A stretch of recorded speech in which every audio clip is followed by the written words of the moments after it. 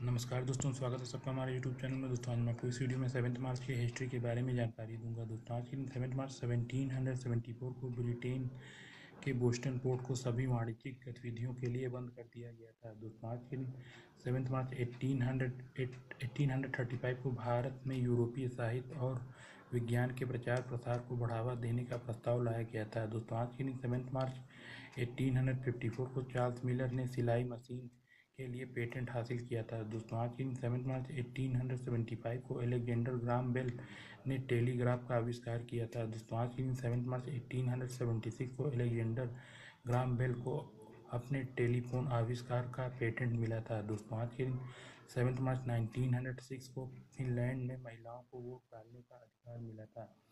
दोस्तों आज के दिन सेवेंथ मार्च 1918 को फिनलैंड ने जर्मनी के साथ मैत्री समझौते पर हस्ताक्षर किए थे।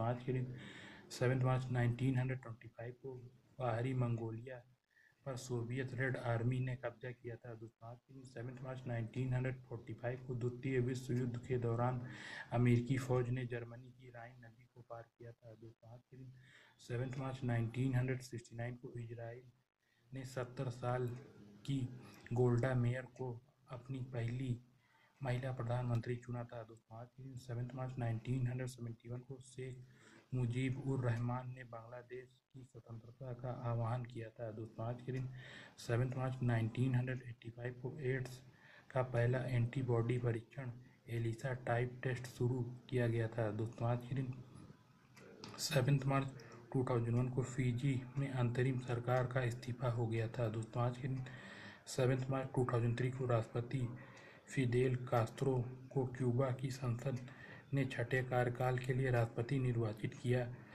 था। वे दुनिया के सबसे लंबे समय तक शासन करने वाले शासनाध्यक्ष थे। दोस्तों, आज के दिन सेवन मार्च 2006 को ईरान के राष्ट्रपति ने देश की परमाणु गतिविधियों पर रोक के लिए संयुक्त राष्ट्र परमाणु एजेंसी से क्षतिपूर्ति की मांग की थी। दोस्तों, वीडियो पसंद आए तो लाइक, सब्सक्राइब और शेयर करना ना भूलें।